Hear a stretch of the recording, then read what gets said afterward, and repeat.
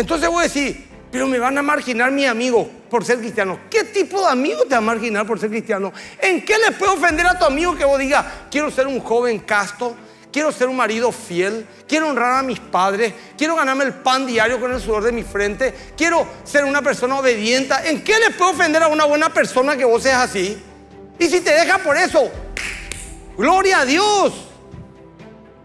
Vas a ser relevante, vas a dejar testimonio. No tengas vergüenza, no tengas miedo. Si la Biblia dice que algo es pecado, no tengamos vergüenza usar esa palabra.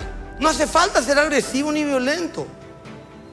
No hace falta maltratar a la gente. Uno puede decir, mira querido amigo, hermano, amiga, yo no estoy de acuerdo con lo que me estás proponiendo por este motivo. El que gana almas es sabio.